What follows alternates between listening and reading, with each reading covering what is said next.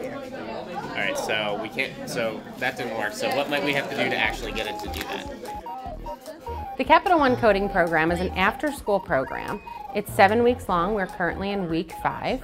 Capital One has been sending out volunteers. Um, they provide the curriculum and they come out each week for an hour and a half at a time and they work with our kids to teach them all about the nuts and bolts of computer coding.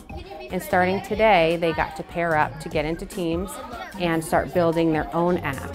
Capital One identifies the importance um, that software and software engineers are going to play in the future. So we want to get the kids excited and to start actually learning how to program um, because you know it's it's a really it's an important skill to have.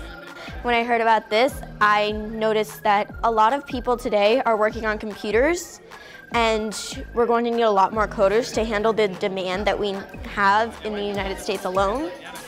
So I wanted to, I knew that if it was going to be a high demand, there were going to be more jobs available.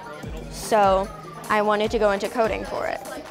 We're learning like different coding skills and the real actual work that goes behind making even just a simple app.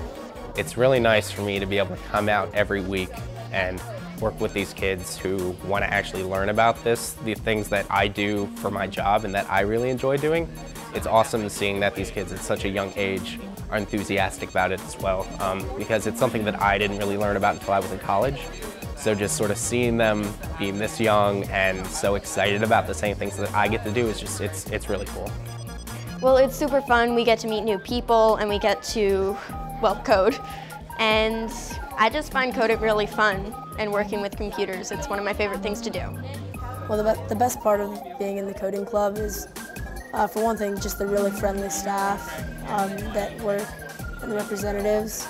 But also, I think that it just teaches you amazing skills, really.